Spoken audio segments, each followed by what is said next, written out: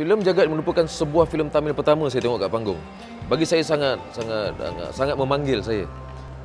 Antara perkara yang best tentang filem Jagat adalah posternya. Apabila dia seorang budak pegang pensel dengan pemadam tapi kita, kalau daripada jauh kita boleh nampak macam dia hisap ukuk. So itu yang memanggil saya pergi ke panggung. Bila saya masuk panggung bersama my wife dengan ada seorang lagi. Dia orang semua masa saya masuk tu dah penuh tau. So bila saya masuk tu orang semua macam ah dia orang macam terkejut. Eh, ini filem Tamil orang tahu ke? macam tu. It wasn't a bad start. Maknanya bagus. Masa tu sebelah tu ada filem Diwali.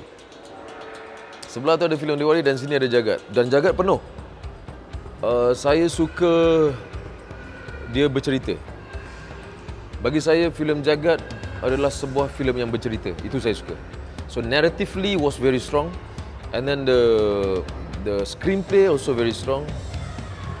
Dia punya composition, uh, dia punya point of interest dalam satu-satu framing, pembingkaian dia sangat baik. Jagat adalah sebuah filem bukan sekadar filem, bukan sekadar uh, tayangan. Dia Jagat adalah sebuah filem yang kita boleh baca. Dia ada intertext, dia ada subtext, dia ada semiotik terhadap Malaysia dan masyarakat. Jagat dia subtly buat cerita ni.